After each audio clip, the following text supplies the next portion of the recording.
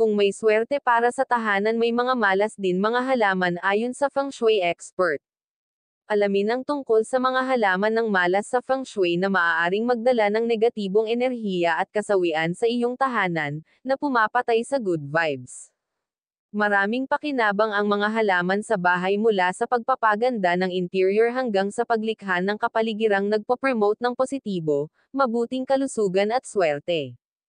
Sa pagbanggit ng swerte, hindi may kakaila na karamihan sa mga kabahayan ay nagpapaganda ng kanilang mga tahanan gamit ang mga halamang pampaswerte upang mag-imbita ng kapayapaan, kayamanan, tagumpay at kagalingan. Gayunpaman, hindi mo dapat kalimutan na may mga halaman na maaaring pumatay ng positibong enerhiya sa kapaligiran at masamang makaapekto sa iyong buhay.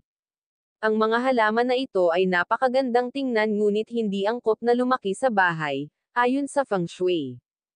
Tumutulong ang Feng Shui na lumikha ng isang tahanan na puno ng kapalaran at kasaganaan habang hinihikayat kang alisin ang mga bagay sa iyong tirahan na nagpapababa ng enerhiya. Gayun din, Iminumungkahi ng mga eksperto sa feng shui na iwasan at alisin ang mga halaman na may mababang vibrations na maaaring mapanganib sa iyong buhay.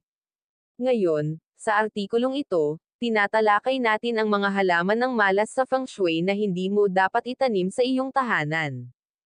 Walong malas na halaman sa feng shui panoorin para malaman ang tungkol sa mga halaman ng malas sa feng shui. Kaya siguraduhing iwasan mo ang mga ito sa iyong tahanan. Isa. Bonsai. Kumuha ng pinakamahusay na mga presyo mula sa mga eksperto sa panloob na disenyo. Halaman ng bonsai na pinalamutian sa isang sala isang malas na halaman upang maiwasan. Ang bonsai o bonsai ay isang salitang Hapones. Ito ay ang sining ng Hapones ng paglaki ng mga maliliit na puno sa mga lalagyan. Tinatawag ding tree painting, ito ay kumakatawan sa mga sword plants na may bansot na paglaki. Sa makatuwid, ang mga halaman na may pulang bulaklak at mga puno ng bonsai ay itinuturing na mga halaman ng malas sa feng shui. Ang mga species na ito ay kumakatawan sa stunting career growth na maaaring magdala ng negatibong enerhiya at some iris sa iyong maayos na pattern ng buhay. Kaya, hindi sila inirerekomenda para sa iyong mga interior. Gayunpaman, maaari mong panatilihin ang mga ito sa labas sa isang bukas na espasyo o isang hardin. Dalawa. Tamarind at myrtle. Ang mga halaman ng tamarind at myrtle ay itinuturing na malas na halaman para sa tahanan. Ayon sa feng shui, ang sampalok at halaman ng myrtle ay pinaniniwala ang nag-uuwi ng negatibong enerhiya at sakit sa mga miyembro ng pamilya. Ang tamarind ay tinatawag na imli sa Hindi, at si Myrtle ay tinatawag na Menady. Ang mga halaman na ito ay nauugnay din sa mga tahanan ng masasamang espirito, kaya, iminumungkahi na iwasang ilagay ang mga ito sa loob ng bahay. Gayun din, hindi mo dapat itayo ang iyong bahay sa paligid ng gayong mga puno. Tatlo. Mga halamang koton. Ang mga halamang koton ay nag-uuwi ng masamang kapalaran ayon sa feng shui. Tulad ng ibang mga halaman, ang mga halamang koton ay likas na walang hanggan. Ang mga bowls sa halaman ay matalim at, sa gayon, ay pinaniniwalaan na pinuputol ang iyong balat.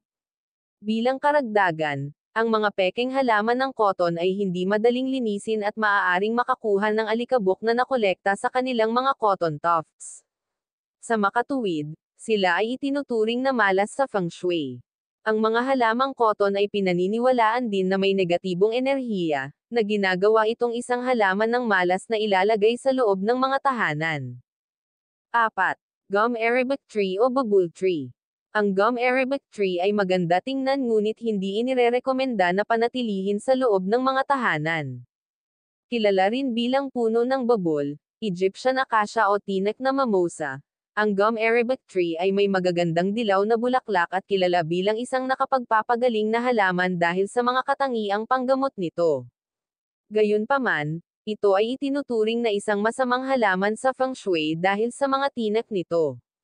Iminumungkahi ng mga eksperto sa feng shui na iwasang panatilihin ang puno ng babul sa bahay.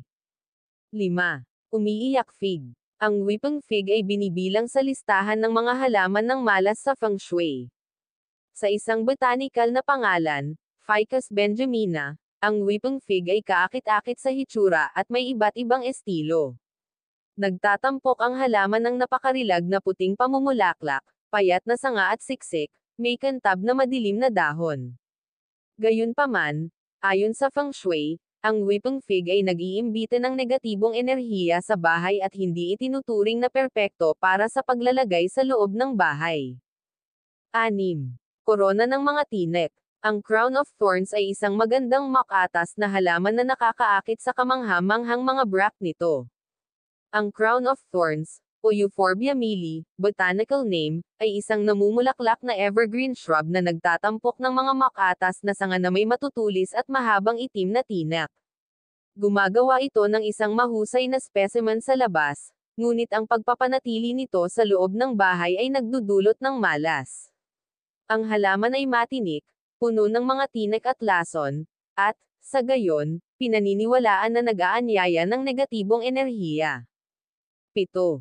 Patay na halaman. Ang mga halaman na tuyo o patay ay hindi dapat itago sa loob ng mga tahanan. Ang dahilan ng pagtatanim ay upang magdagdag ng pagiging bago, kapayapaan at kaligayahan sa espasyo.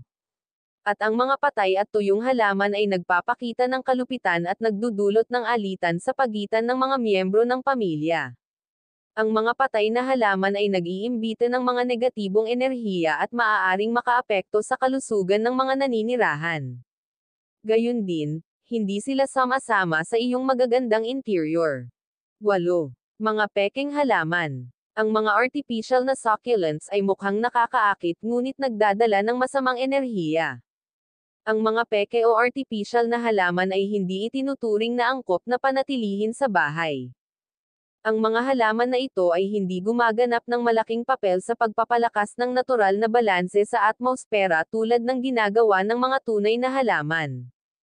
Maaaring hindi sila palaging mga halaman ng malas sa feng shui ngunit maaaring marumi at, sa gayon, humahawak ng stagnant na enerhiya ng chi.